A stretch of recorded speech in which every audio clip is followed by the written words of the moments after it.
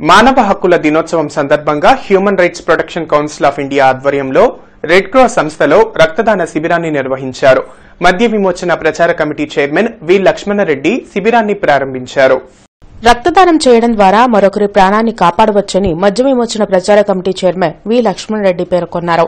ప్రపంచ మానవ హక్కుల దినోత్సవం సందర్భంగా human rights protection council of India ఆధ్వర్యంలో రెడ్ క్రాస్ సంస్థలో రక్తదాన శిబిరాన్ని నిర్వహించారు. ఈ సందర్భంగా ఆయన మాట్లాడుతూ మానవ హక్కులను కాపాడాల్సిన బాధ్యత ప్రతి ఒక్కరిపై ఉందన్నారు. ఈరోజు ప్రపంచంలో చాలా చోట్ల లింగ వివక్షత కొనసాగుతూ ఉంది. అసమానతలు వివిధ రకాల అసమానతలు కొనసాగుతూ ఉన్నాయి. బాల బాల కార్మికులు కొనసాగుతూ ఉన్నారు. మన ఇండియాలో రైతాంగం విపరీతమైన దోపిడీకి గురవుతూ ఉన్నారు. కులం మతం వర్గాలు ముఠాలు రకరకాల పేర్లతో వివక్షత కొనసాగుతూ ఉంది.